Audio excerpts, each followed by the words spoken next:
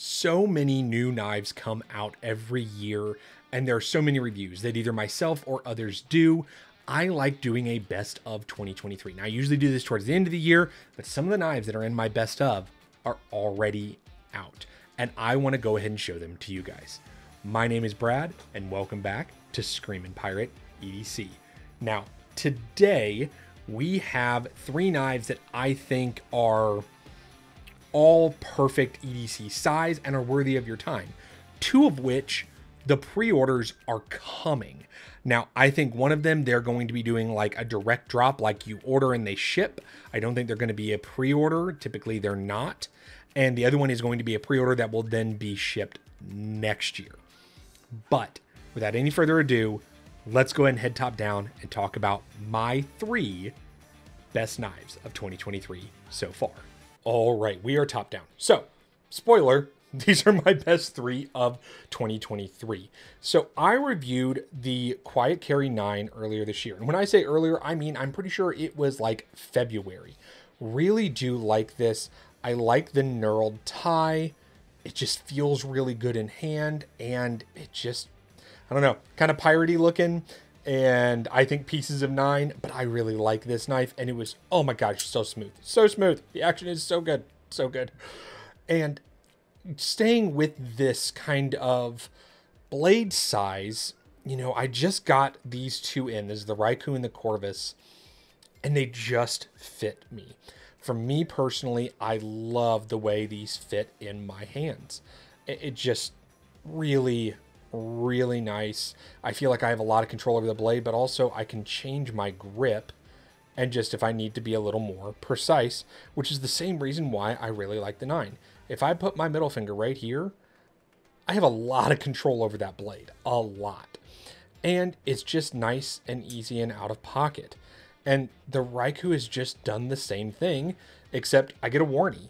And so it's just really nice to see another Wharnie up here. Now, to show you guys just a quick size comparison, and when I say quick, I mean quick, quick. Something that was one of my knives of the year last year was the Strix from Sparrow Knife Co. So let me go ahead and shove everybody together there. Similar size, okay? Now, the Strix is a little bit bigger than everything else here as far as like the handle, but you are looking at something similar. Now, I said why I like these two. The Corvus I have had the least amount of time, but it has grown on me so quickly. It is it feels like an elongated handle, a little bit of the Jaeger, but it's also a mashup between the Taka and the Model 51 from Brian Brown. Those are two customs. I've held both those customs multiple times at multiple shows. Love them. And I put this in hand and immediately went, ooh. Oh and then I opened and closed it. And went, oh, yeah, I like that. Oh, oh, that's, oh, that's nice. Hmm. Yeah, this knife really does a lot. It has a hollow grind, it has a flat grind, you have a tanto, so you can do a lot of work. And in a large glove, it just fits my hand. I don't really like that's the best way I can put it, guys. And once again, if I want to choke up, look at all that control I have on the blade. Really nice. And all of them can be dressed up. You can put some, they have carbon fiber, they have standard tie options on all of these. And I also like having options in my EDC. If one of these doesn't vibe with me, okay, well, I don't like the blue on the Brian Brown. Okay. They, they make an all tie one. I don't like this one. Okay, well, they make a DLC one oh, well, you don't like DLC, and for some reason you don't like uh, the steel they used here. All right, well, they just came out with this. It's the Drift LC. That's an LC 200N, and it has more texture, and it's slightly bigger. I'm, there you go. I really can't complain about any of these knives. I personally like the 9 more than I like the Drift LC, but that is obviously personal preference. Now, all of these knives are, I wouldn't say light. That's not really the best word I would use, but they are not heavy here, guys. So let me go ahead, a little bit of a mess here. Let me turn him on and I'll get some quick weight for you guys.